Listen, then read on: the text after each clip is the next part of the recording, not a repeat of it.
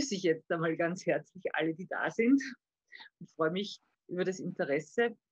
Ähm, wir haben hier eine Veranstaltung im Rahmen der Reihe WWW, wenn Weiber wirtschaften. Das ist eine Reihe, die wir anlässlich des Frauentags gestaltet haben und beschäftigen uns heute mit den Auswirkungen von Covid, also dem, dem Unwort, dem derzeitigen, auf die Arbeitssituation der selbstständigen Frauen, aber auch der Frauen, der berufstätigen Frauen allgemein. Vorweg möchte ich noch sagen, wir haben, äh, wir zeichnen diese, diese Veranstaltung auf äh, und verwenden dazu den Spotlight-Modus. Das heißt, im Video sind nur die Sprecherinnen zu sehen, alle anderen sind unsichtbar in der Aufzeichnung. Ähm, und deswegen verwenden wir für die Fragen, die von Ihnen oder euch gestellt werden, auch den Chat. Also ich bitte alle, wenn es Fragen gibt, die einfach in den Chat zu stellen und jetzt immer wieder dort hineinschauen und das dann hereinholen in die Diskussion hier. Ähm, wir haben heute als Expertin, als Gast die Arbeitsmarktexpertin Magistra Iris Appiano-Kugler eingeladen. Sie ist herzlich willkommen. Sie ist äh, die Leiterin der Abteilung Arbeitsmarktpolitik für Frauen beim Arbeitsmarktservice Österreich, hat Rechtswissenschaften, Genderpolitik, feministische Forschung studiert ähm, und ist Expertin für Arbeitsmarkt und Gender Mainstreaming. Sie setzt sich ein für die Förderung von Frauen am Arbeitsmarkt und für Gender Diversity. Und äh, ein besonderes Asset, sie kennt auch das Leben als Unternehmerin, denn sie war und ist auch, soweit ich weiß, immer noch ein bisschen nebenher selbstständig. Das heißt, in vielerlei Hinsicht Expertin für unser Thema.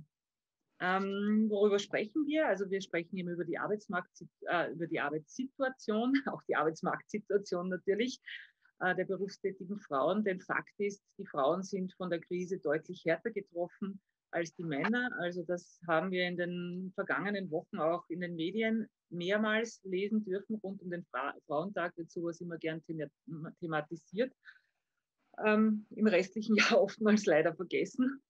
Ja, und die Auswirkungen äh, der Krise auf die Frauen im Speziellen werden wir uns dann noch später anschauen.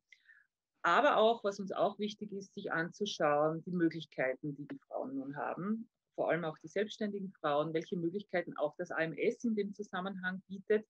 Ähm, denn auch diesen Rettungsanker werden einige brauchen. Also die Diskussion dazu, die läuft im Web äh, speziell in den ähm, spezifischen Gruppen, wo die Kleinstunternehmen sich treffen, schon sehr intensiv. Und äh, da gibt es auch einiges politisch drumherum zu tun. Ähm, und damit wir wissen, wovon wir sprechen, starten wir jetzt gleich einmal mit ein paar Folien zu Zahlen, Fakten, Daten. Ähm, Leni, darf ich dich bitten, einmal unsere Folien einzublenden, wo man sieht, wie viele Selbstständige es in Österreich überhaupt gibt. Das sind in Summe 868.521 Personen. Also so genau wird es jetzt nicht stimmen, aber das sind Zahlen, die stammen aus dem äh, Rechnungshofbericht zur Einkommenssituation in Österreich. Ähm, und äh, ausschließlich selbstständig sind davon aber nur 355.000, äh, also nur 41 Prozent. Das heißt, der größere Anteil ist selbstständig und unselbstständig zugleich. Also wir nennen die Hybridunternehmen. Ähm, der Frauenanteil ist, wenn man so den Durchschnitt anschaut, äh, in etwa bei 40 Prozent äh, aller selbstständig Erwerbstätigen. Bitte weiter. Ähm, die Frauen ziehen bei den Gründungen nach, äh, also immer mehr Frauen gründen auch Unternehmen, der Anteil steigt, das sieht man an dem Pfeil auf der linken Seite.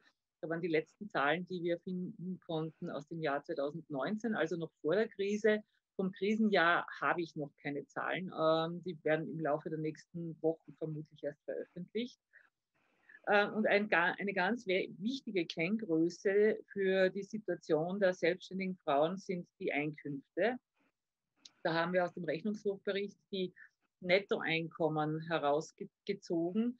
Äh, die selbstständigen Männer verdienen im Medianeinkommen. Das bedeutet, 50 Prozent verdienen mehr und 50 Prozent verdienen weniger als das.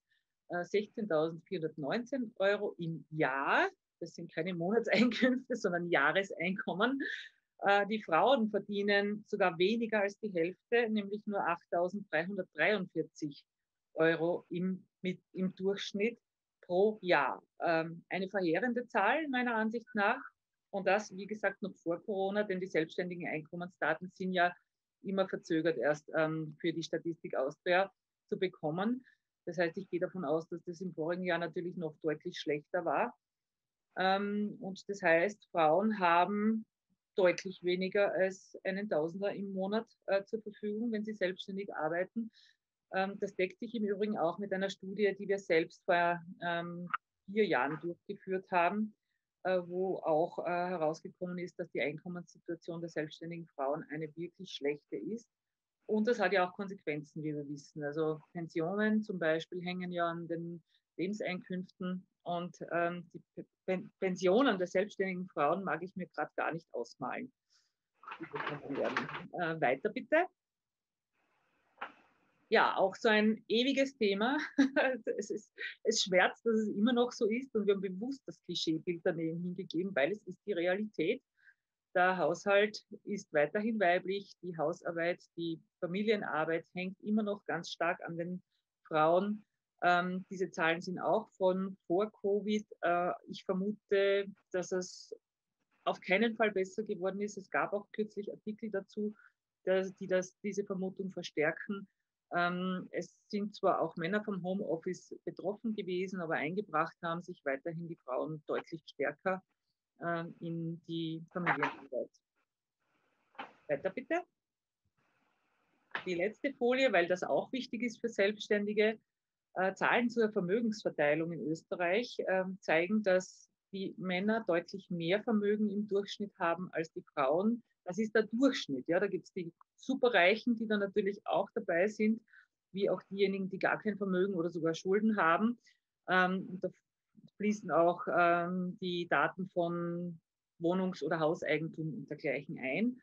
Fakt ist, Frauen haben deutlich weniger Vermögen im Durchschnitt zur Verfügung. Und das ist für Unternehmerinnen und Unternehmer insofern extrem relevant, weil es für jede Art von Besicherung, beispielsweise für Überbrückungsfinanzierungen, ein riesiges Kriterium ist, was habe ich denn überhaupt, um eine Finanzierung zu besichern. Selbst bei Unterstützungen durch die öffentliche Hand ist das eine Notwendigkeit und deswegen ist es für Frauen viel schwieriger, auch an Finanzierungen zu kommen.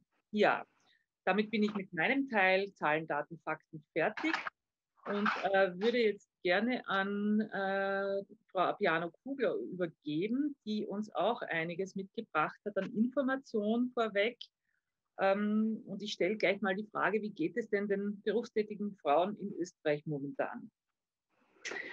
Ja, ich habe mir gerade gedacht, ähm, dass unsere ähm, Zahlen, Daten, Fakten sehr, sehr gut zueinander passen. Also der Unterschied ist nicht der zwischen selbstständigen Frauen und unselbstständigen Frauen, sondern eher, ja, wie soll ich sagen, Frauen mit Kindern, Frauen ohne Kindern, weil die, die Mehrheit der Frauen, die im Moment Kinder haben, wissen ganz genau, dass Homeschooling und, und Homeworking, die, einen Job haben, extrem belastend ist. Ähm, die, die keinen Job haben, sind in der existenziellen Krise und kämpfen mit der Perspektive, je wieder einen Job zu finden oder zurückkehren zu können.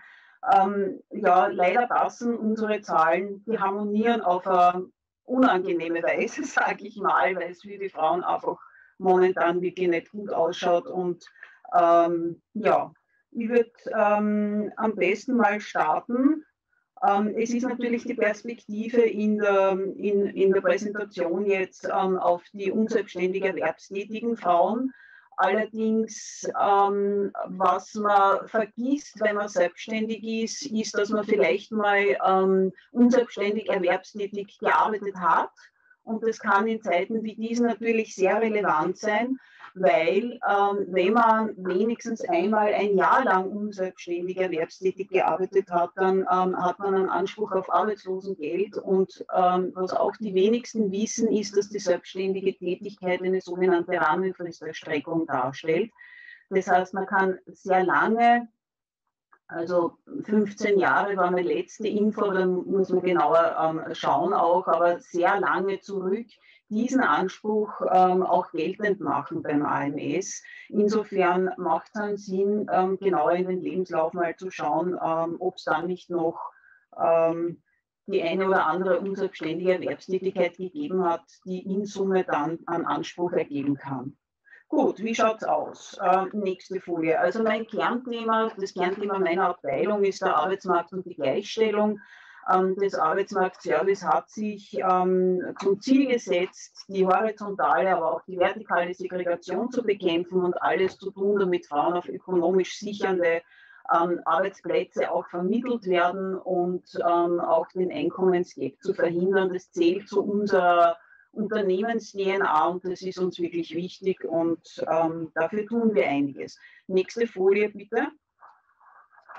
Ähm, die nächste Folie ist insofern spannend, ähm, als wir damit die Entwicklung der Gleichstellung ähm, regelmäßig überprüfen. Also diesen Index hat das WIFO das erste Mal im Jahr 2015 erstellt und seither schauen wir kontinuierlich drauf, wie sich anhand dieser vier Bereiche, nämlich Arbeit, Einkommen, Bildung und Familie, ähm, das, ähm, die Gleichstellung entwickelt. Und die Stellung der Frauen am Arbeitsmarkt kann man eben nicht nur an der Erwerbstätigkeit festmachen, ob selbstständig oder unselbstständig. Ähm, das ist ein, ein, ein viel komplexeres Feld, um dann tatsächlich von Gleichstellung, echter Gleichstellung reden zu können oder nicht. Daher ähm, haben wir ähm, diese vier Teilbereiche entwickelt und diese vier Teilbereiche wiederum untergliedern sich in 14 Teilbereiche, die mit vielen verschiedenen Indikatoren gefüttert werden. Also Arbeit zum Beispiel ist unterfüttert mit der Beschäftigungsintegration, dann die ähm, Segregation, die horizontale, vor allem, also horizontale Segregation heißt die, die Einteilung des Arbeitsmarkts in rosa, rot und himmelblau. Das heißt, es gibt Frauenbranchen, die traditionell niedrig bezahlt werden und Männerbranchen, die traditionell viel höher bezahlt werden. Energie, ähm, Bau, ähm, Energiewirtschaft, Wasserwirtschaft, zum Beispiel nur ein Beispiel, ähm, ist eher höher bezahlt, männerlastig, ähm, Industrie, Produktion, frauenlastig ist, äh, Gesundheit, Soziales, das, was wir, wir alle denken, der Handel natürlich. Ähm, ja, das ist frauenlastig. Das nennt man ähm, horizontale Segregation und ähm, die fließt da auch ein. Die Arbeitszeit fließt ein, die berufliche Position und auch ähm, die Arbeitslosigkeit selbst. Beim Bereich Einkommen wiederum ist es das Einkommen allgemein beim Berufseinstieg, weil schon da passiert ähm, Diskriminierung, wie wir wissen, nicht erst später, wenn Kinder kommen etc., wo es noch eine Spur verständlicher wäre und der Niedriglohnbereich, der natürlich auch Aufschluss gibt. Im Bereich Bildung ähm, ist es die Ausbildungsstruktur, also die geschlechtsspezifischen Unterschiede im Bildungsstand und Bildungsverhalten. Da lässt sich sagen, dass die Mädchen ähm, überproportional häufiger Schulen, höhere Schulen besuchen und die Burschen tendenziell eher in die Lehre gehen, wenn man jetzt die Masse betrachtet die Weiterbildungssituation und die Frage nach ausbildungsadäquater Beschäftigung hinterher natürlich. Dann im Bereich Familie sind die familiären Pflichten, Verpflichtungen, nämlich ähm, der Frauen- und Männeranteil an Karenzierung, ähm, die Erwerbs- und Beschäftigungsquoten für Eltern mit Kindern unter 15, die, der Vollbeschäftigungsanteil der Personen mit Kindern unter 15, das Einkommen von Männern und Frauen vor und nach der Karenz. Also all diese Indikatoren fließen damit ein und bilden dann diesen Index. Ähm, der, was sagt der Index aus? Also gemessen wird an 100% Männerwert, also der Frauenwert wird in Prozent des Männerwerts im Durchschnitt angeführt und bildet insofern das Geschlechterverhältnis in, innerhalb dieser Variablen ab. Ähm, der Gesamt Index für Österreich liegt bei 73 Prozent. Das heißt, in diesen vier Feldern ähm, gesamtösterreichisch betrachtet äh, erreichen Frauen 73 Prozent von diesen Gleichstellungsindikatoren, wo Männer 100 Prozent erreichen. Was fällt innerhalb dieser Indizes auf? Da fällt, da sticht die Bildung ins Auge. Also während der Arbeit, Einkommen und besonders bei Familie, und da wissen wir alle, das hängt natürlich einerseits an der Verteilung der, der unbezahlten Arbeit ab, die von zu zwei Dritteln immer noch äh, von Frauen geleistet wird, aber es hängt auch von den Kinderbetreuungseinrichtungen, äh, den mangelnden ab, die dazu führen, dass die Frauen am Erwerbsleben nicht so teilhaben können. Ähm, also da sind die niedrigsten Indizes und bei der Bildung wiederum sieht man, da ähm, ist eine Übererreichung auf der Frauenseite, was damit zu begründen ist, dass es mittlerweile schon äh, mehr ähm, Frauen gibt, die höhere Schulen abschließen und auch äh, in manchen Bereichen insgesamt mehr Uni-Absolventinnen. Also da haben die Frauen mehr Prozentanteil und erreichen über. Und das durchbricht auf die äh, jahrelange Geschichte, die uns, die uns, also uns Frauen erzählt wurde, dass wir nur, wenn wir gut ausgebildet sind und äh, endlich gleich viel Frauen wie Männer Matura haben, gleich viel Frauen wie Männer studieren, dann werden wir ganz automatisch dasselbe verdienen, dann werden wir ganz automatisch, dann ist die ähm, Gleichstellung hergestellt und da braucht man so faktisch sonst gar nichts mehr machen, das wird reichen. Und wie wir jetzt sehen, ist einfach, das reicht nicht. Also wenn, wenn's, wenn das das Kriterium wäre, müssen alle anderen Indizes auch ähm, wesentlich höher liegen. Okay, nächste Folie bitte. Ja, das ist der Gleichstellungsindex ähm, gesamt und an dem kann man erkennen, dass es den Frauen wohl in Wien eindeutig am besten geht und der Gesamtindex, den habe ich eh schon erwähnt, bei, 3, bei ja, 2020 bei 73 Prozent liegt. Ähm, das ist insofern eine gute Nachricht, als 2015 Lager bei, 20, bei 70 Prozent. Also das ist immerhin eine Steigerung, wenn auch eine homöopathische, aber immerhin es geht aufwärts. Jetzt wird man in den nächsten Jahren sehen, was äh, uns Corona da angetan haben wird. Gut, äh, nächste Folie. Die horizontale Segregation, ja, da kann man eigentlich, das ist jetzt nicht ähm, die alleraktuellste Folie, was aber insofern, na, ist sogar aktuell, es ist aber egal, weil das ist dermaßen hartnäckig und verändert sich von Jahr zu Jahr nicht. Also die von jungen Frauen am häufigsten gewählten Lehrberufe sind hartnäckig und nach wie vor Handel, Friseur und Büro. Ähm, die sind Berufe, wo es kaum Aufstiegsmöglichkeiten gibt, wo es wenig Möglichkeit für Vereinbarkeit gibt, wo auch die Löhne extrem niedrig sind was auch ein, ein kleines Stück weit diesen berühmten Gender Pay Gap erklärt, aber das ist nicht die einzige Erklärung.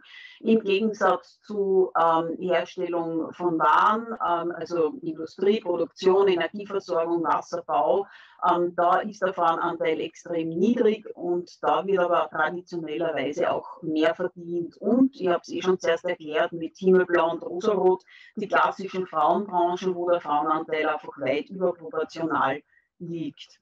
Ähm, ja, die gute Nachricht, auch da gibt es eine gute Nachricht. Immerhin ist der zehnthäufigste Lehrberuf von Mädchen gewählt schon die Metallfacharbeiterin. Und da wird ein bisschen mehr verdient. Ich kann auch nur jeden, jeder Person, die ähm, sich ins klassische Frauenfeld hineinbewegt, raten, den FIT-Rechner auf der AMS-Homepage anzuschauen.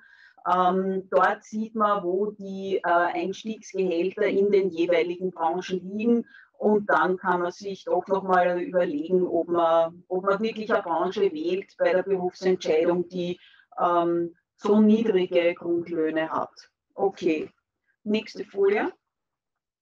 Ja, ähm, ich erspare jetzt den berühmten Gender Pay Gap. Das Ding gibt es, wissen wir alle, aber leider Gottes ist er ansteckend und ähm, führt, führt äh, sich leider Gottes auch fort. Er steckt das Arbeitslosengeld an. Also wenn ich vorher äh, wenig verdient habe, habe ich nachher auch wenig Arbeitslosengeld. Das Aha-Erlebnis bei dieser Folie ist, dass Männer mit und ohne Migrationsgeschichte mehr Arbeitslosengeld bekommen als Frauen ohne Migrationsgeschichte wird man auch nicht glauben auf den ersten Blick. Und die nächste Folie bitte. Ähm, er ist wirklich ähm, hochinfektiös, das passt irgendwie zu der Zeit, nämlich steckt auch die Notstandshilfe an, die natürlich vom Arbeitslosengeld abhängig ist und auch da setzt sich das Bild fort. Männer mit und ohne Migrationshintergrund haben auch mehr Notstandshilfe als Frauen mit und ohne Migrationshintergrund. Und ähm, ja, so, so schaut es aus. Also diese, hm, diese Entscheidungen am Anfang und die strukturellen Gegebenheiten, die am Beginn eines Frauenberufslebens vorhanden sind, führen im Ergebnis dann zu zum Beispiel diesem Arbeitslosengeld und dieser Notstandshilfe. Ähm, nächste Folie bitte. Ja, das ist eine, einer meiner Lieblingsfolien, den kann man wirklich nur jeder Frau möglichst rasch in die Hände drücken, ähm, nämlich, und es gibt es auch als Folie vom AMS, da sieht man, ich erzähle jetzt nicht runter, aber da sieht man sehr schön dargestellt, wie sich diese klassischen Lebensentscheidungen, die Frauen treffen, Klammer müssen, Klammer zu, ähm, dann auf das Einkommen und schlussendlich auf die Pension auswirken. Und das ist schon ganz schön dramatisch. Und was auch die wenigsten Menschen wissen, ist, also was die meisten kennen, ist, dass man bei der BVA ähm, Schulzeiten und, und Ausbildungszeiten nachkaufen kann. Das ist allgemein Wissen. Was aber die wenigsten wissen, ist, dass man dort auch ähm, äh, einzahlen kann, damit die Pension höher wird. Also es gibt die freiwillige ähm, ähm, das freiwillige Höherzahlen, Einzahlen in die Pensionsversicherung, damit sich die Pension später verbessert. Und je früher man damit beginnt, freiwillig höher einzuzahlen, umso, umso höher, umso mehr rechnet sich das und äh, rechnet sich auch dann später in der Pension. Jeder kennt die privaten äh, Pensionsvorsorgen, äh, die so prominent empfohlen werden im Moment, weil natürlich die, die zweite Säule, wird gesagt, Allerdings ähm, gebe ich zu bedenken, ähm, dass die BVA wahrscheinlich doch noch sicherer ist als jede private äh, Pensionsvorsorge und das Aufzahlen in diesem Bereich jedenfalls Sinn macht. Also ich rate es mittlerweile jeder Frau, die Teilzeit arbeitet, wenigstens einen kleinen Teil ihres ohnehin schmalen Einkommens doch ähm, dafür zu verwenden, dass die Pension später mal besser wird. Also im Alter ist die Armut leider Gottes weiblich. Und das erklärt sich, wie man es hier sieht, einerseits aus den Berufsunterbrechungen und aus der Teilzeit, die, wie wir wissen, in der Regel Familien und, und ähm, ähm, ja, aus der, aus der äh, Versorgung der Kinder natürlich resultieren. Nächste Folie bitte. Ja, kommen wir schon zum Thema Nummer eins, die Corona-Krise. Das ist etwas, was uns beschäftigt. Da haben wir zum ersten Mal im Monat März ähm, 20 ähm, draufgeschaut. Da ist zum ersten Mal die, die Frauenarbeitslosigkeit gestiegen. Jetzt im Moment schaut es recht dramatisch aus. Also seit drei Monaten steigt die Frauenarbeitslosigkeit ähm, ähm, signifikant höher an als die Männerarbeitslosigkeit, was insbesondere zu erklären ist aus dem Einbruch in Tourismus, Gastro und Beherbergung, auch Reinigung ähm, das sind traditionellerweise Frauenjobs und daher steigt im Moment die Frauenarbeitslosigkeit dramatisch. Wenn man es dann aufs Jahr rechnet, also im Jahr 2020 war es dann in Summe so, dass die Frauenarbeitslosigkeit wiederum nicht höher war. Aber momentan schaut es aus, also dass, dass es im Moment die letzten drei Monate so ist, dass die Frauenarbeitslosigkeit höher gestiegen ist. Was auch spannend ist, aber jetzt zwar keine Folie, aber das äh, haben wir herausgefunden, ähm, zwei Dinge sind signifikant. Erstens, die Frauenarbeitslosigkeit innerhalb der höher gebildeten äh, Frauen steigt signifikant höher. Ähm, das ist zum ersten Mal so, dass man nicht mehr sagen kann, dass eine höhere Bildung ähm, dem Risiko der Arbeitslosigkeit schützt. Also das ist in der Corona-Krise nicht so. Und was auch augenfällig ist, auch die Arbeitslosigkeit der Wiedereinsteigerinnen ähm, ist ähm, signifikant höher gestiegen wobei Wiedereinstieg äh, euphemistisch ist, weil viele Frauen bekommen zuerst das Kind, steigen dann ein, also die steigen zum ersten Mal ein und nicht wieder. Das ist eine Gruppe, da muss man auch nochmal genauer hinschauen. Gut, nächste Folie bitte. Ja, die Kurzarbeit aus Gender-Sicht. Ähm, das ähm, ist in der Tat eine spannende Folie, weil wir lange nicht wussten, wie der Frauen- und der Männeranteil unter den äh, Bezieherinnen äh, der Kurzarbeitsbeihilfe, wie dieses Verhältnis ausschaut, weil ähm, bei uns wird es bezeichnet als Projekte, also ein Unternehmen beantragt Kurzarbeit, da wissen wir nicht, ist, das männlich, ist der Antragsteller männlich oder weiblich, ist auch unerheblich. Erst bei der Auszahlung der Kurzarbeitsbeihilfe und erst dann bei der Abrechnung wissen wir Monate später, wie ist das Verhältnis männlich-weiblich ähm, bei der Auszahlung dieser Kurzarbeitsbeihilfe. Ich habe dann ähm, eine Abfrage von mir und ähm, da sieht man, da muss man jetzt einige ähm, Dinge dazu erläutern, nämlich äh, Punkt 1, die sogenannte Normalarbeitszeit. Da die überwiegende Mehrheit der Frauen ja Teilzeit arbeitet, ist die sogenannte Normalarbeitszeit der Frauen ähm, niedriger als die der Männer. Uh, umgekehrt ist die Zahl der Ausfallstunden höher im Prozent. Allerdings ähm, heißt das, dass im Verhältnis die Frauen mehr Kurzarbeit in Anspruch nehmen als Männer. Im Summe, in der Jahresbetrachtung haben sie aber wiederum weniger Ausfallstunden als die Männer in Summe. Also während man da jetzt sieht, dass die Anzahl der Personen männlich-weiblich, ähm, also 534.000 zu 694.000 kann man sagen, naja, nicht ganz ausgewogen, ein bisschen weniger Frauen, aber ähm, von den BeihilfenbezieherInnen ist es so, ähm, ja, also gibt, gibt, ist es, nee, könnte man sagen, es ist nicht ganz ausgewogen, aber fast. Ähm, wenn man allerdings dann schaut auf die auf die ähm, Stunden der Normalarbeitszeit, nämlich 345.000 zu 250.000, dann sieht man, da spiegelt sich deutlich die Teilzeit wieder. Also da ist es ganz klar, das ist die Teilzeit im Verhältnis dazu ähm, relativ hohe Ausfallstunden und dann wird es ganz eklatant natürlich bei den, bei den Kosten pro Ausfallstunde, wo sich wiederum der Gender Pay Gap widerspiegelt also mit den Männern 2047 und bei den Frauen 1732. Ja. Ich habe diese Erläuterungen in der nächsten Folie ähm, dazugenommen, falls Sie das äh, verwenden wollen, weil das, was ich jetzt erzählt habe, ist ein bisschen komplex und da kann man es nachlesen. Ähm, daher nächste ähm, Folie. Ja, das habe ich eh am Anfang gesagt. Das ist, sind so die AMS-Ziele, die bei uns im Arbeitsmarktservicegesetz auch ähm, gesetzlich festgeschrieben sind ähm, und die so in der AMS-DNA auch ähm, festgeschrieben sind, nämlich, ähm, dass wir Frauen und Männer gleichermaßen auf ähm, die ökonomische Unabhängigkeit sichernde Arbeitsplätze integrieren wollen, dass alle Zugang zu allen Berufen haben sollen. Sprich, wir wollen die horizontale Segregation und auch die vertikale durchbrechen. Und wir wollen natürlich den Gender Pay Gap schließen. Also das, ist, das sind ähm, definierte AMS-Ziele. Ja, nächste Folie bitte. Ja, ähm, jetzt wird es ein bisschen spezieller, nämlich wie wollen wir das tun? Also was ist die Antwort auf diese Ungleichheiten, ähm, die ähm, jetzt das AMS schon sehr lange gibt? Ähm, wir schauen uns diese vulnerable ähm, Gruppe am Arbeitsmarkt ähm, der Frauen an und identifizieren dass insbesondere der Wiedereinstieg so ein Zeitpunkt in einem Frauenleben ist, wo man auch der Männer, aber es, es ist eine homöopathische Gruppe Männer, die wieder einsteigt und die steigen dann auch besser ein als die Frauen. Aber bei den Frauen ist es tatsächlich eine vulnerable Phase. Ähm, das heißt, wir unterstützen an dieser Stelle mit einem eigenen Programm, mit dem Programm Kursangebot Wiedereinstieg mit Zukunft. Wir qualifizieren Frauen in Handwerk und Technik und zwar bis zum Lehrabschluss und darüber hinaus, wenn die Frauenquote im, in dem jeweiligen Bereich unter 40 Prozent ist, mitunter sogar bis zu einem Hochschulabschluss. Das heißt, man wird vom AMS unterstützt und kann studieren unter bestimmten Voraussetzungen, die man sich natürlich genauer anschauen muss.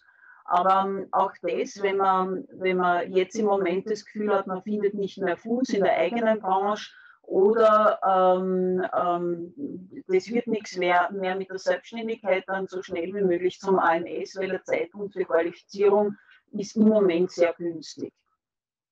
Ähm, wo kann ich mich da hinwenden? Entweder direkt zum AMS, da gibt es die sogenannten BITS-Zentren, ähm, Berufsinfozentren vom AMS oder man geht in ein Frauenberufszentrum, kann man googeln ähm, in einem Frauenberufszentrum steht im Zentrum die Orientierung. Das heißt, äh, ich werde dabei unterstützt, an, an anderen ähm, Beruf zu finden, aber auch die Qualifizierungsberatung, Laufbahnberatung.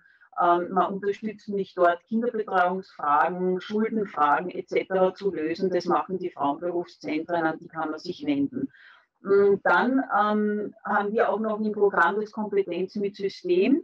Das heißt, dass insbesondere Menschen, die ähm, saisonal gefordert sind und Saisonarbeit haben, die sind immer wieder einmal arbeitslos, dann wieder nicht, kommen zum AMS, sind dann wieder im Job. Das heißt, das, das Arbeitsjahr setzt sich zusammen aus Episoden von äh, Erwerbstätigkeit und Arbeitslosigkeit Und in den Phasen der Arbeitslosigkeit, immer wenn ich beim AMS bin, kann ich modulartig eine Ausbildung durchlaufen. Das heißt, ich muss mich nicht entscheiden, dass ich die nächsten drei Jahre oder ein Jahr oder zwei Jahre äh, nur mit Ausbildung beschäftigt bin, sondern bei dem Programm Kompetenz mit System kann ich modular einen Lehrabschluss zum Beispiel ähm, nachholen in momentan 16 Berufen.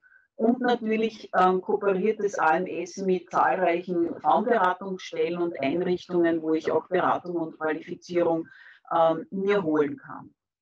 Gut, nächste Folie. Ja, das ist noch ähm, zur Information der Frauenanteil an den geförderten Personen. Was man da sieht, ist, dass das AMS mehr Frauen als Männer fördert und das ist auch gut so, weil die mehr gefördert werden müssen. Spannender ist dann äh, die nächste Folie, nämlich der Frauenanteil am Förderbudget. Da war lange Jahre das Ziel, 50 Prozent Frauenanteil am Förderbudget zu erreichen. Seit letztem Jahr ist das Ziel nicht mehr 50 Prozent, sondern 3,5 Prozent höher Förderung als Ausgleich für die Benachteiligungen am Arbeitsmarkt. Ähm, da kann man natürlich auch hinterfragen, ob die 3,5 Prozent ausreichen ähm, und auch wieso 3,5 Prozent. Ähm, das ist nicht nur eine schlechte Entscheidung. Warum? Weil das, ähm, die, die Förderquote abhängig ist vom Frauenanteil an der Arbeitslosigkeit. Das heißt, ähm, je höher der Anteil der Frauen an der Arbeitslosigkeit, schlage ich 3,5 Prozent drauf und bin bei dem Ziel, das ich erreichen muss, um zu sagen, ja, sie sind adäquat äh, am Budget beteiligt worden. Und wenn jetzt die Frauenarbeitslosigkeit steigt, und zwar deutlich über 50 Prozent, dann wäre ein 50-prozentiger Frauenanteil am Förderbudget natürlich zu wenig. Insofern ist das ein gutes Ziel. Aber ich hätte natürlich schon auch gern, und das sage ich immer wieder, mindestens 50 Prozent. Und das, was 3,5 Prozent drüber ist. Aber gut. Ähm, da darf man auch nicht vergessen, dass wir uns jetzt in den Jahren befinden, wo das Frauenpensionsalter angehoben wird. Das heißt, äh, wir erinnern uns, die Donau hat damals gefordert, ähm, dass das Frauenpensionsalter dann anzuheben ist, wenn die faktische Gleichstellung erreicht ist. Die ist nach wie vor nicht erreicht. Das Pensionsalter wird jetzt trotzdem angehoben. Damals hat niemand daran gedacht, dass dieses rasche Anheben des Frauenpensionsalters vor allem jetzt in dieser Corona-Phase zu einer recht dramatischen Erhöhung der Frauenarbeitslosigkeit auch ohne Corona schon führen wird. Das hat, sie damals, hat man sich damals nicht überlegt. Das kommt jetzt noch dazu zu Corona, dass in den nächsten Jahren, ähm, also ich glaube, wenn es nicht eh schon 22, 21 beginnt, ähm, die nächsten Jahrgänge immer ein halbes Jahr später in Pension gehen werden und äh, diese Frauen in der momentanen Lage nicht so leicht Beschäftigung finden werden am Arbeitsmarkt. Das heißt, ähm, die Frauenarbeitslosigkeit wird auch aus diesem Grund höher steigen. Und da müsste man sich natürlich politisch überlegen, ob gerade dieses rasche Ansteigen des Pensionsalters, also zwei Sachen. Erstens, ob es überhaupt gescheit ist, so wie, es den Frauen geht, äh, das Pensionsalter anzugleichen, wo man die Kinderbetreuungszeiten etc bei weitem nicht in dem Maße anrechnet und angleicht und einpreist, wie es sein sollte. Und ähm, zweitens, ähm, ob, ob dieser rasche Anstieg an Sinn macht, wann jetzt eher Krise zu bewältigen ist und dann das als Herausforderung bei dem, beim Thema Arbeitslosigkeit einfach noch dazukommt. Okay, nächste Folie. Ja, das ist unser Ausbildungsprogramm, wo man erfreulicherweise sieht, dass jährlich ähm, die TeilnehmerInnen steigen. Das ist gut so, kann aber gar nicht viel genug sein. Also wir sind äh, fest entschlossen, Frauen in zukunftsträchtige Berufe zu qualifizieren und zu schauen, dass sie über diesen Weg einfach teilhaben können an, an mehr Einkommen, mehr Vereinbarkeit und etc. gesellschaftlichen Ressourcen schlicht. Nächste Folie bitte. Ja, der Wiedereinstieg, das ist etwas, was ich vorhin schon erwähnt habe. Da sieht man die Homöopathie bei den männlichen Wiedereinsteigern und die 87 Prozent sind es oder 88 ähm, Prozent, 88,7 ähm, Frauen bei den Wiedereinsteigerinnen. Und dann haben wir vor Jahren einmal untersucht, wie Frauen und Männer wieder einsteigen. Und da wissen wir auch, dass die Männer besser wieder einsteigen als die Frauen, weil einfach die Karenzzeiten kürzere sind auch und weil dann ein Faktor der strukturellen Diskriminierung auch noch dazu kommt, wo man auf der Frauenseite die Gelegenheit äh, manchmal auch nutzt, ob bewusst oder unbewusst zu dequalifizieren und nicht denselben Job wieder herzugeben wie ursprünglich beim Ausstieg. Ja, das sind die Wiedereinsteigerinnen. Nächste Folie bitte. Ja, und was man da sieht, ist der Wunsch nach dem ähm, Beschäftigungsausmaß.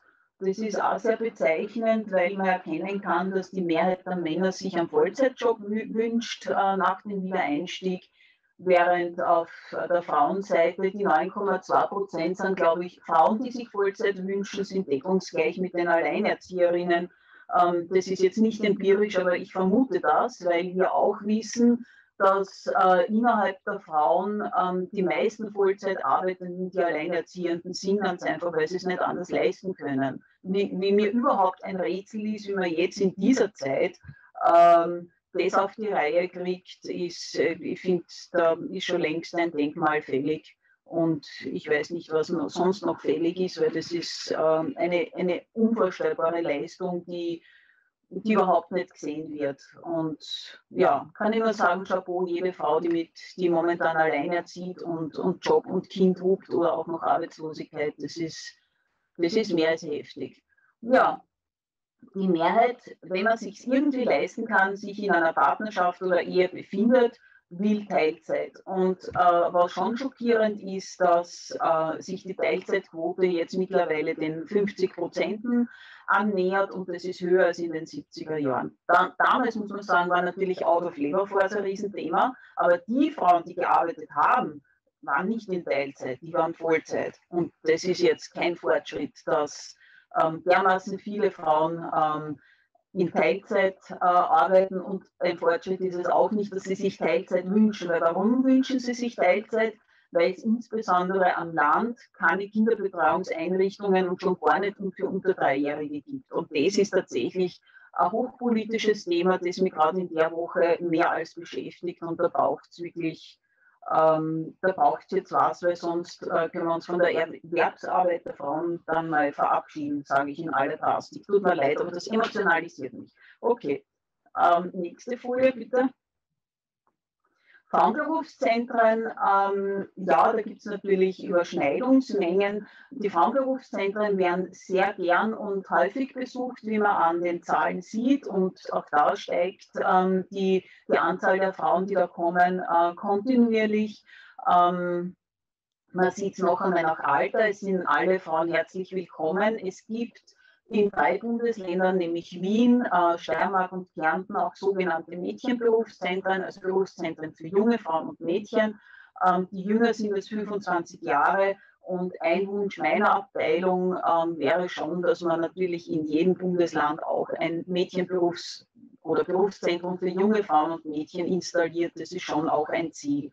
Aber auch das gibt es und ähm, da ist auch wichtig, dass man das weiß und dass man auch danach sucht, wenn man es braucht. Da geht es natürlich vor allem bei den Mädchen um Selbstvertrauen und Selbstbewusstsein und um Orientierung in nachhaltige, ähm, zukunftsträchtige, sinnvolle Berufe, aber auch um Aufklärung. Natürlich geht es auch darum, weil in der Schule ähm, wird nicht gelernt, was es heißt, ähm, wenn man heiratet und beschließt, ähm, beide gemeinsam teilen sich ähm, die Lasten der, der Vereinbarkeit zu 50-50 und dann ist aber so, dass der Mann mehr verdient und die Frau halt weniger und dann steht man vor der Entscheidung, naja, wer bleibt jetzt zu Hause und da haben wir es dann. Also dann ist zu spät. Das muss man vorher verhandeln und das muss man vorher wissen, auf was man sich da einlasst und ähm, ich denke, also meines Wissens Augen auf bei der Partnerwahl ist dort auch ein Thema. Also es gehört alles dazu. Ja, da finden sich auch viele Wiedereinsteigerinnen. Das ist auch für Frauen mit Migrationshintergrund ein ganz wichtiger Ort, weil es ein, ein, ähm, ein Frauenraum ist. Frauen haben nicht dieselben Ressourcen wie Männer. Raum gehört zu den Ressourcen und oft ist es die erste Möglichkeit, überhaupt rauszukommen aus so ähm, traditionell männlich geprägten Verhältnissen. Deswegen ist es auch wichtig und wir haben uns auch bemüht, dass die wie die ähm, ähm, Asylwelle war, ähm, die, Flüchtlings, ähm, die Flüchtlingsbewegung äh, 2015, auch diese Räume insbesondere für, für flüchtende Frauen und Mädchen aufzumachen. Genau, nächste Folie bitte. Ah ja, danke. genau, ah, da zum, zum letzten, letzten Folie gibt es noch was zu sagen. Kann man die noch mal zeigen? Oder ist sie schon weg? Nein, ich kann es auch erzählen.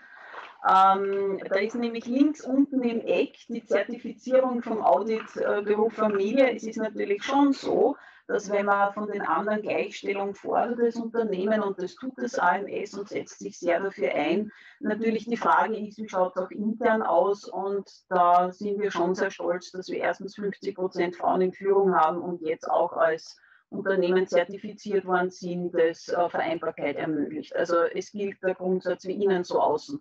Und ähm, ja, es gibt auch andere öffentlichkeitsnahe, die sind, äh, die haben das nicht, sage ich mal. Gut, danke. Dankeschön.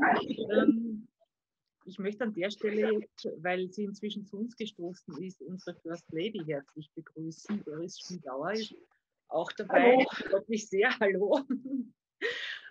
ähm, ja, ähm, ein paar Dinge, also das waren jetzt zwar sehr viele Zahlen, Daten, Fakten, die sich mehr auf diese unselbstständigen Frauen bezogen haben, aber es gibt ja einiges, was gleich ist, meiner Ansicht nach. Ja. Nämlich die Themen äh, Berufswahl oder Branche, in der man tätig ist, oder Frau in dem Fall, ähm, und das Thema Teilzeit. Ich glaube, das ist auch eines, das die, bei den selbstständigen Frauen hineinwirkt in äh, die schlechte Einkommenssituation des ist dort zwar nicht abgebildet, weil es gibt ja keine Teilzeitselbstständigkeit, die irgendwie vermessen wird. Aber dass die Einkommen so schlecht sind, hat sicherlich auch damit zu tun und auch mit der, natürlich mit der Familienarbeit, die geleistet wird von den Unternehmerinnen. Ähm, wobei, was ich ja spannend finde, ist, es ist so, dass offensichtlich sehr, sehr wenige die Kinder während der Selbstständigkeit bekommen, sondern in der Regel Frauen zuerst Kinder bekommen und dann sich selbstständig machen und oftmals auch aus der Situation heraus, dass es eben keine adäquate Betreuungsmöglichkeit für die Kinder gibt. Also das ist etwas, was mir am Land sehr oft begegnet, ähm, wo mir oft Frauen sagen, ja, was soll ich, wenn ich einen Halbtagskindergarten habe, wenn ich die Fahrzeiten noch dazu rechnen muss, möglicherweise muss ich 30 Kilometer irgendwo hinfahren in die nächste Bezirkshauptstadt, geht sich einfach nicht aus, einen sinnvollen Job dann zu machen. Ähm, macht man sich selbstständig und oft ist es dann so, dass das eben auch eher im Dienstleistungsbereich angesiedelte Tätigkeiten sind oder beispielsweise ein klassisches Beispiel, die Kunsthandwerkerinnen sind oftmals, die dann zuerst bastelt man was für einen Ostermarkt und aus dem entwickelt sich dann ein Geschäft. Ähm, nur das Problem ist, dass diese, diese Branchen keine sind, in denen die hohen Stundensätze erzielbar sind, auch für die selbstständigen Frauen. Und insofern bildet sich das dann natürlich auch wieder in der Einkommenssituation ab. Also das sind mhm. Problemstellungen, die, egal ob selbstständig oder unselbstständig, beide Gruppen haben dasselbe Thema am Ende des Tages. Äh, ich weiß nicht, was Ihre Erfahrung oder Ihre Wahrnehmung dazu ist, weil ähm, es gibt über das nicht alles so klare Zahlen, Daten, Fakten, aber ähm, zumindest ich nehme das so wahr in den vielen Gesprächen, die ich mit den Frauen führe. Ja, ähm, Sie haben völlig recht. Also ähm, die Kinderbetreuungssituation in Österreich ist, ist gelinde gesagt eine Katastrophe jenseits von Wien. Also in Wien ist alles anders. Wir merken das nicht so, wie wir in Wien leben und, und ähm, ja, in Wien findet man eine Lösung. Ja. Ähm, außerhalb von Wien und außerhalb der Ballungszentren ist es tatsächlich dramatisch. Und ich sage jetzt einmal, auch das sind Arbeitsplätze. Also was mir unverständlich ist, ist, dass es nicht möglich ist, offenkundig, ähm, in einem hochzivilisierten Land ein Problem, das ähm, so viele Menschen in dem Land haben, ähm, zu lösen. Also ich weiß nicht, was es braucht. Es ist jetzt schon so, dass die Wirtschaftskammer mit der Arbeiterkammer gemeinsam ähm, und dem AMS fordert, es braucht ähm, Kinderbetreuung auch für die unter Dreijährigen. Man könnte damit, es wäre eine, eine, eine Arbeitsmarktoffensive, weil es sind Jobs und es braucht nicht nur Betreuung, es geht um Kinderbildung. Es geht auch darum, dass ähm, dass dieser Abstand, der in den vergangenen Jahren größer geworden ist in der Schule, nämlich ähm, wenn Kinder, Akademiker, Kinder natürlich leichter Zugang zu Bildung und zu Ressourcen haben als, als ähm, bildungsfernere Familien, ähm, das, das gilt es aufzuholen. Es, es, geht um Chancengleichheit und da ist Kinderbildung und Elementarpädagogik einfach ähm, der Schlüssel dazu. Und ähm, das wäre das wär eine Offensive wert, das wäre wert, dass man, dass man parteiübergreifend einen Schulterschluss macht und wirklich fordert, es braucht jetzt Kinderbetreuung in ganz Österreich für alle. Weil ähm, das ist ähm, unerträglich. Ja? Also jetzt, die Corona-Krise hat dieses Thema so verschärft. Ich habe ich bin vielleicht auch deshalb im Moment so politisiert, weil ich gerade in dieser Woche eine Veranstaltung mit der Plattform der Alleinerziehenden gehabt habe. Und ähm, da hört sich das dann alles noch einmal ganz anders an. Ähm, das ist schon dramatisch und ähm, es ist irgendwie Schluss mit lustig. Und es gibt am Land so Erscheinungen, dass ähm, der Gemeindekindergarten sagt, na ja, ähm, wenn sie keinen Job haben, dann haben wir keinen Kindergartenplatz. Ja? Und das AMS sagt dann, naja, Sie müssen uns schon eine Bestätigung bringen, dass Sie keinen Kindergartenplatz haben, sonst müssen wir Sie auch vermitteln. Und vermitteln können Sie erst, wann die ähm, Kinderbetreuung geklärt ist, sonst können wir sie nicht vermitteln. In Wien wird dieses Spiel nicht mehr gespielt, aber ich weiß, dass das, dass das immer noch äh, beliebte Unterhaltung ist für manche. Also die Frauen und auch bei dem Thema, ich habe es mit den Alleinerziehenden diskutiert und heute mit Sozialpartnerinnen, werden die Frauen im Kreis geschickt. Ja? Also man landet bei Landesrätinnen, Gemeinderätinnen, äh, das geht hin und her, Sozialpartnerinnen und, und ist wieder am Ausgangspunkt. Ja, mit der Frage, wer ist dafür zuständig? Niemand. Also, und der völlig falsche Zugang ist, dass die Gemeinde sagt, naja, tun wir mal den Bedarf erheben. Ne? Schauen wir mal, ob wir das brauchen. Beim Fußballplatz brauchen wir eh, also das ist eh ganz klar, dass wir das brauchen.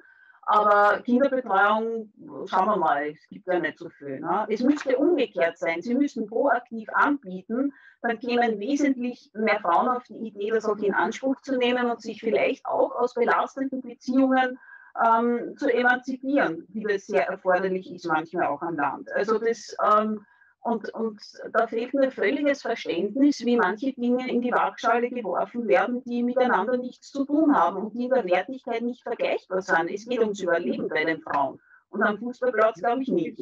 Es ist ein bisschen dieses Henne-Ei-Thema. Ja. Das es auch in anderen Politikfeldern, wie beispielsweise beim öffentlichen Verkehr gibt. Also ja. Ping-Pong wird gerne gespielt, wenn man eigentlich nicht willens ist, etwas zu tun, würde ich jetzt mal sagen. So ist es, ja. So ist es. Das heißt, das braucht enorm viel Druck. Ja. Ähm, das Thema Kinderbetreuung ist eines, das uns schon lange beschäftigt, aber momentan akut und sehr viel diskutiert wird eben das Thema äh, Arbeitsmarkt, ähm, also Zugang zu, zum Arbeitslosengeld der Selbstständigen. Was nämlich ganz wenige wissen, ist, das, ist, dass sie eben überhaupt einen Zugang hätten zu einem Arbeitslosengeld. Wobei, Achtung, Falle, man kann nicht Härtefall und ähm, Leistungen aus der Arbeitslosenversicherung gleichzeitig ja. beziehen. Also Achtung, Achtung, entweder oder. Ähm, aber äh, es wird auch eine Zeit nach Härtefallfonds oder sonstiger Unterstützungsleistungen geben. Auch da wird es relevant werden, dass ähm, Unternehmerinnen und Unternehmer, die nicht so schnell wieder ihr Geschäft in die Gänge bringen, weil es eben länger dauert, und das wird so sein in manchen Branchen, dann irgendeine Form von Unterstützung brauchen, damit sie ein Einkommen haben, von dem sie leben können. Und da ist natürlich das AMS eine Möglichkeit. Ähm, äh, meines Wissens nach sind es ungefähr 90 Prozent der Selbstständigen, die äh, Anspruch hätten auf Arbeitslosengeld. Das hat mir der Karl-Heinz Kopf mal gesagt in einer Besprechung mit ihm. Also wirklich sehr, sehr viele hätten diese Möglichkeit und sollten das dann auch nutzen, meiner Ansicht nach, zumindest als Übergangslösung. Ähm, eine Frage, die wir da schon jetzt dazu im Chat haben, ist, ähm, die äh, Karin Schnitzers sagt, sie hat verstanden aus der, Präsenta der Präsentation heraus, dass man mit aufrechter Selbstständigkeit keine Fördermöglichkeit für Weiterbildung durch das AMS hat. Ähm, wie, wie schaut das wirklich aus? Ja, also die Zielgruppe beim Arbeitsmarktservice sind die arbeitslosen Personen, arbeitssuchende Personen, ähm, die Selbstständigen sind im Moment paradoxerweise, wenn sie nicht ex definition arbeitslos sind, jetzt nicht die primäre Zielgruppe. Das ist richtig. Aber äh, meine Abteilung hat ein, ein, ein, höheres Ziel, nämlich die Frauen besser zu qualifizieren. Und ähm, wie auch die AMS-Ziele gezeigt haben, gibt es da Ziele, die ähm, noch andere Ziele. Und das heißt dann wiederum, dass es Einrichtungen gibt wie ein Frauenberufszentrum und ähm, ähm, Information, also ähm, Berufsinfozentrum, wo man sich erkundigen kann und wo man schon eine Anlaufstelle hat, um herauszufinden, was ist jetzt mein, mein nächster Schritt und ähm, was bietet das AMS tatsächlich an. Aber die, die Zielgruppe sind ähm, arbeitslose und arbeitssuchende Personen. Gemeint ist unselbstständige Erwerbstätigkeit es gibt natürlich das Unternehmensgründungsprogramm beim AMS, das ist, ähm, wird auch ähm, vom AMS ja angeboten, aber da ist auch die Voraussetzung, dass man vorher arbeitslos ist. Und wenn man dann ähm, die Voraussetzungen erfüllt, dann ist das eine Möglichkeit. Aber das ist was anderes und das ist, glaube ich, momentan äh, auch gerade im Moment nicht so das Thema. Ähm, nein, würde ich jetzt sagen, insgesamt. Also ich ja habe mich ja dem Thema intensiver gewidmet, schon im letzten Herbst, nämlich vorausschauend auf diese Zeit nach der, der, der, der mhm. strengsten Krise, sagen wir mal so, ja. äh, und die Zeit im Wiederaufbau dann wieder. Und habe mir das genauer angeschaut und bin dann fündig geworden auf der Website des AMS, dass es nämlich sehr wohl die Möglichkeit gibt, ähm, ein Gewerbe aufrecht zu erhalten und einen AMS-Bezug gleichzeitig zu haben. Allerdings ist es so, dass da sehr strenge Grenzen der Einkünfte aus der selbstständigen Tätigkeit einzuhalten sind. Also das ist ein extrem enges Korsett, das an sich der Realität, wie man selbstständig arbeitet, gar nicht entspricht. Ähm, ich habe deswegen auch schon beim Minister Kocher vorgesprochen, damit man das ja. Umständen adaptiert, weil ich glaube, es braucht gar nicht wahnsinnig viel, um das praktikabler zu machen um eine Überbrückungsphase herzustellen und dann ähm, möglicherweise doch wieder ins selbstständige Arbeiten zurückgehen zu können. Aber was ja das Wünschenswerte wäre, dass man diese Zeit dann auch nützen kann für Fortbildung. Natürlich. Wenn ich es richtig verstanden habe, müsste es ja aber in dem Moment, wo ich ähm, den Arbeitslosengeldanspruch geltend mache, auch möglich sein, die Fortbildungen des AMS in Anspruch zu nehmen. Ähm, ja, sofern sie arbeitsmarktpolitisch sinnvoll sind. Genau. Also, genau. ja. Aber meine, was, was nichts bringt, wird man sowieso im Normalfall nicht machen. Also das ist, ist dann wahrscheinlich so, auch ja. eine Frage der Beratung und der, der Vereinbarung, die man mit den Betreuerinnen und Betreuern beim AMS macht, oder? Es ist vor allem eine Frage, wie kann ich die Weiterbildungsdatenbank des, auf der AMS-Homepage selbst gut nützen weil davon auszugehen, dass äh, äh, im Moment sehr arme Beraterin irgendwo in Wien oder sonst äh, am Land ähm, das gesamte Spektrum ähm, des Weiterbildungskonzerns des AMS auswendig parat hat, genau für die Person in dem Moment, ist ein Anspruch, der sehr hoch ist. Das heißt, ich kann nur jeder Person raten, die zum AMS kommt, und daran denkt, sich dort auch qualifizieren zu lassen, vorher die Homepage wirklich gut anzuschauen, auch zu schauen, was bietet das AMS an und dann gezielt zu fragen, dann ist man schon einen Schritt weiter. Weil ähm, die Berater, Beraterinnen, ähm, die haben sieben Minuten Zeit für die Beratung. Also wir sind ja beim Thema Ressourcen für das AMS. Ähm, die sind alles andere als ausreichend. Mhm. Und ich kann nur allen raten, die eben selbstständig sind und die das Gewerbe nicht zurücklegen möchten oder also jedenfalls versuchen wollen, parallel dazu wieder zurückzukommen, sich genauestens beraten zu lassen, wie die Zuverdienstmöglichkeiten sind momentan und hoffentlich, also wir arbeiten ja eben daran, dass das verändert wird und verbessert wird, dass es dann ähm, ein bisschen praktikabler ist, wenn es wirklich dann fort auf fort kommt und wenn, wenn äh, die Hilfsmaßnahmen auslaufen. Aber da, da braucht es noch ein bisschen was. Ähm, aber wie gesagt, es gibt Möglichkeiten, aber man muss wirklich genau schauen, wie man das, wie man das handelt. Ähm, mhm. Wir haben eine Wortmeldung, die gerne mündlich gemacht werden würde. Ich würde jetzt die Anja Heider-Wallner bitten, dass sie ihre Frage stellt. Entschuldigung, jetzt war ich so überrascht, dass ich mal kurz.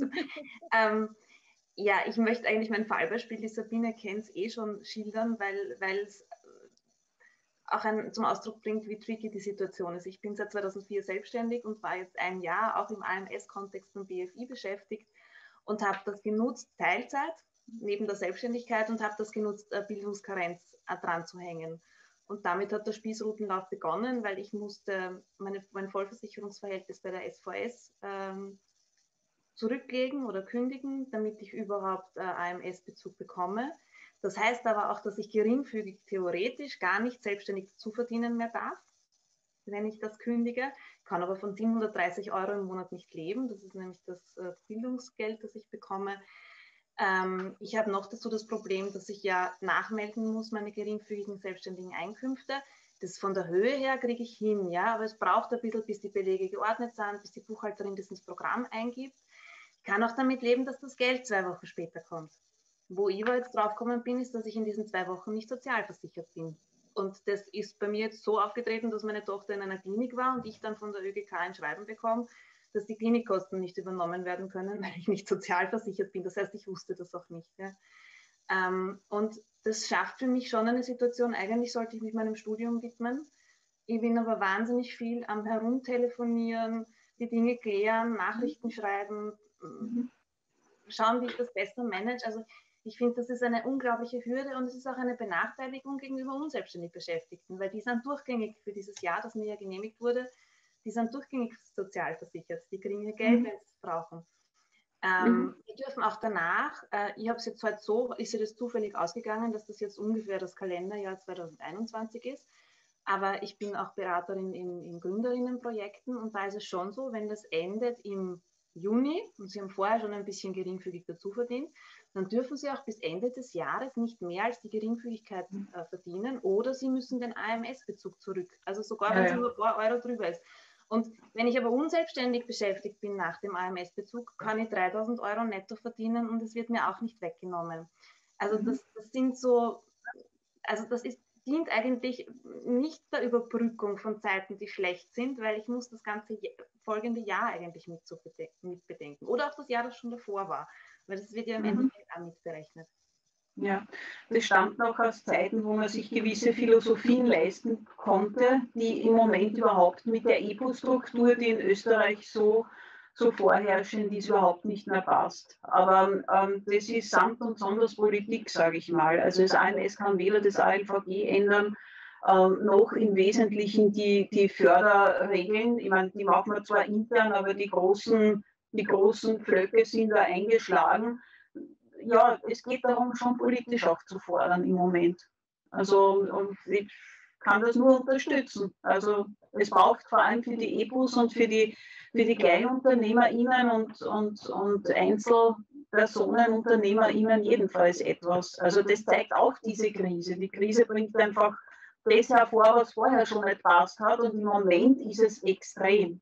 Und es kriegen überwiegend ähm, die Frauen ab.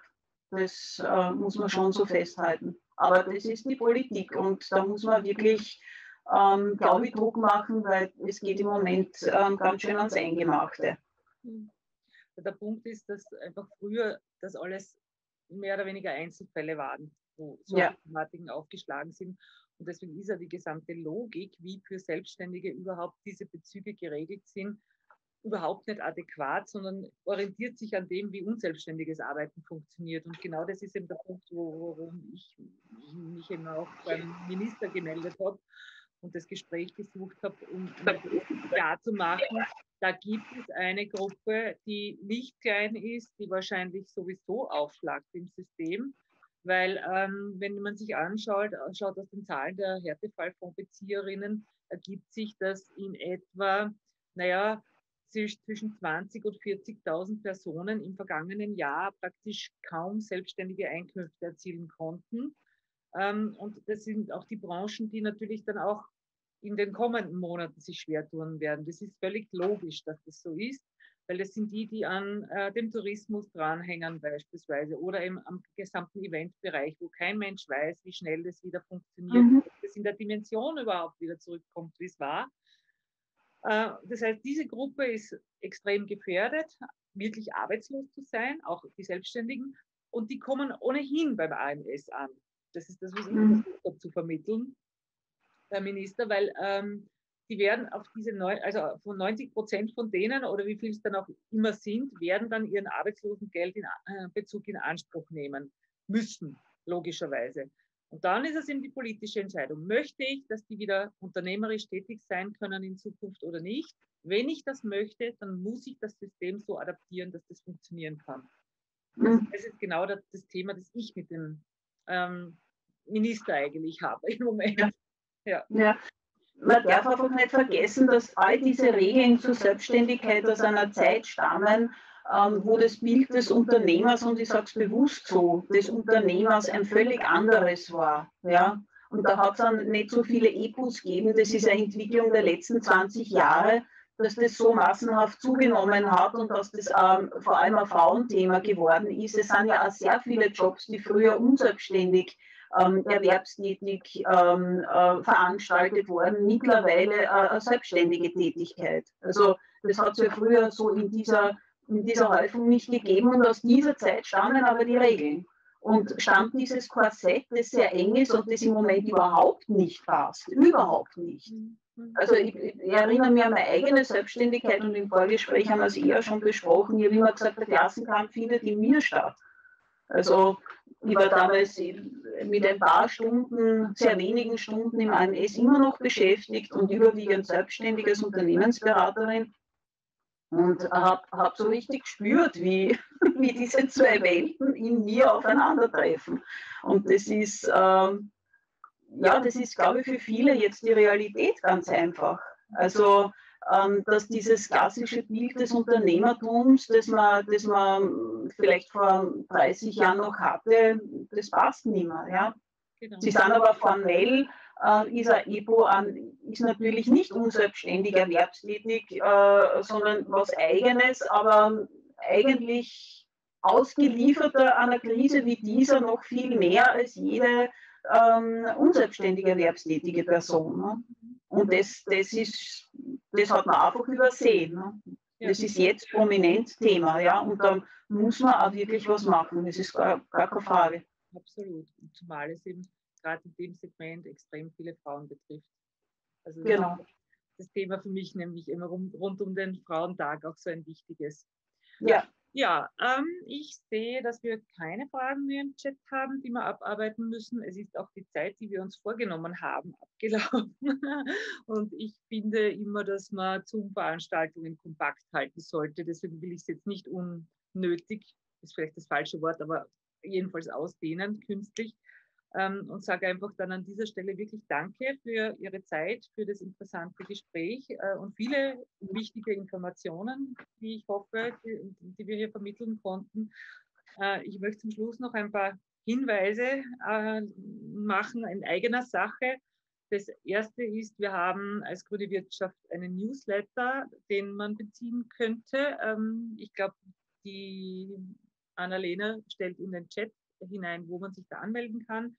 Da gibt es immer viele Informationen zu allen möglichen Themen, ähm, politische Inhalte selbstverständlich auch, aber auch sehr viele Veranstaltungshinweise, grundlegende Informationen, die wichtig sind für Unternehmerinnen und Unternehmer. Ähm, und wir haben auch noch andere Veranstaltungen rund um den Frauentag. Jetzt am 16.03. geht es um Einkommensgerechtigkeit, also warum Frauen weniger verdienen. Am 17.03. haben wir eine Veranstaltung unter dem Titel Fit und motiviert statt Krisenschlapp. Also da geht es um das, den inneren Schweinehund und äh, bei Frauen oftmals dann auch noch der Schweinehund Hausarbeit, den man überwinden muss.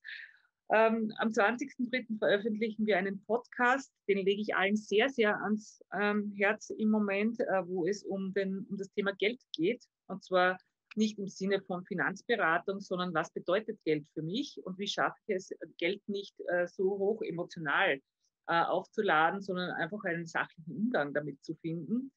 Ähm, und äh, da werden wir dann auch noch einen Workshop in der Folge ausschreiben, äh, wo man das so praktisch üben kann. Ja, und somit bleibt mir nur mehr übrig, einen schönen Abend zu wünschen und allen viel Mut zuzusprechen, weil Zukunft wird aus Mut gemacht. Schönen Abend. Ja. Auf Wiedersehen. Danke für die Einladung nochmal. Danke. Vielen Dank. Danke. Wiedersehen.